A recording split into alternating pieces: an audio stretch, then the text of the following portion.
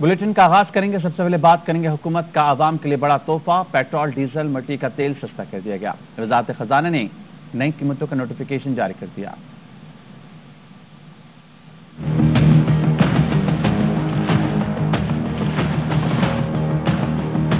नए साल का तोहफा, पेट्रोल पाँच रुपए सस्ता। वज़ीर आज़म की मंजूरी पर कीमतों में कमी की गई। हुकूमत ने पेट्रोल की कीमत पाँच रुपए कम कर दी।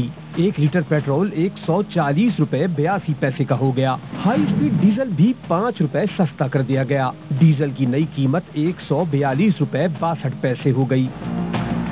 पेट्रोल की कीमतें कम हो रही है। हुकूमत ने हमारे पास कौन सा आसान किया है? एक रुपये दो रुपये कम कर देंगी कौन सा कम करेगी?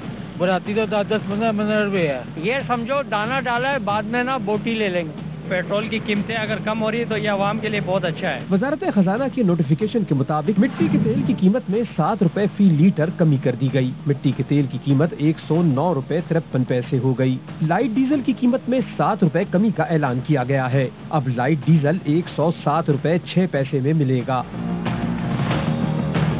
आलमी मार्केट में तेल की कीमत कम हो रही है।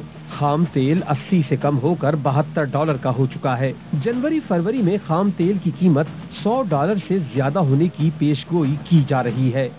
पंजाब में धुंध